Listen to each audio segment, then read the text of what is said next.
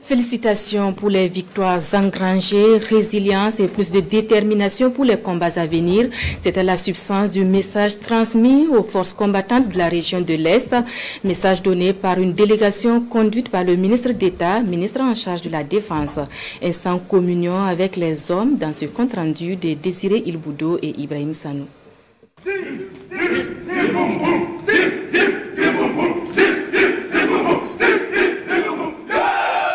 Est exactement 0 heure à Fadangourma.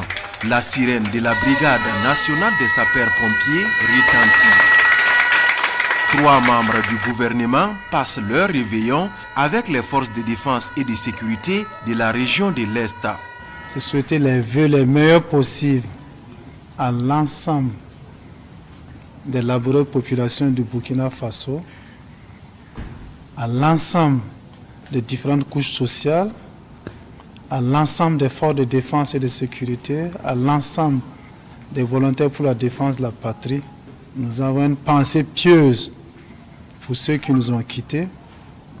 Nous ne les oublions pas, nous n'allons jamais les oublier. On fera en sorte que pour cette année 2024, que leurs familles ne se sentent pas isolées, que leurs familles ne se sentent pas seules. Bonne année à tous, beaucoup plus de concentration, et que nos résultats soient probants aux yeux de tous pour un Burkina meilleur, un Burkina heureux et dans la joie. C'est le lieu pour élever au grade d'officier supérieur trois officiers d'actifs des forces armées nationales et quatre sous-officiers au grade d'officier.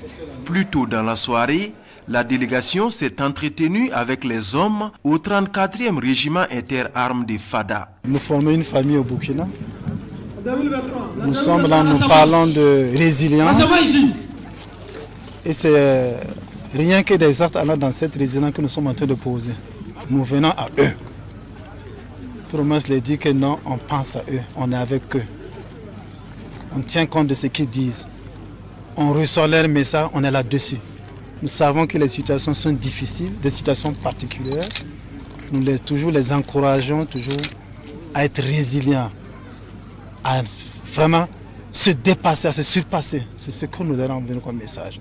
La délégation a transmis le même message à la gendarmerie nationale, à la police nationale, à la police municipale, à la direction régionale des eaux et forêts, à la garde de sécurité pénitentiaire, à la douane et enfin dans ce centre de santé où elle a souhaité prompt rétablissement à des FDS blessés au combat.